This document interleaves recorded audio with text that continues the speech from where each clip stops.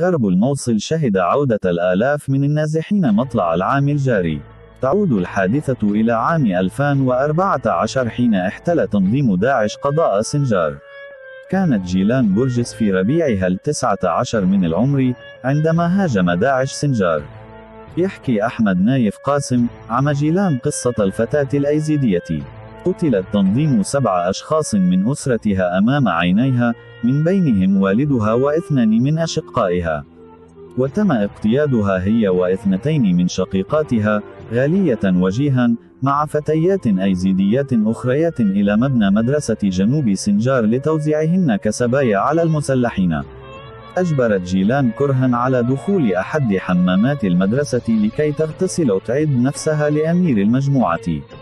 كان الأمير ينتظر أن تنتهي جيلان من الاستحمام، لكن انتظاره طال.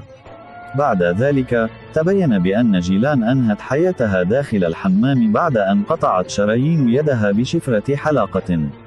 تمثال جيلان بورجس نصب في مسقط رأسها في قرية تل عزيز بسنجار، وهو من أعمال النحات المصل المسيحي نينوس ثابت وبمساعدة من والده النحات ثابت ميخائيل من أهالي بلدة قره قوش في سهل نينوى.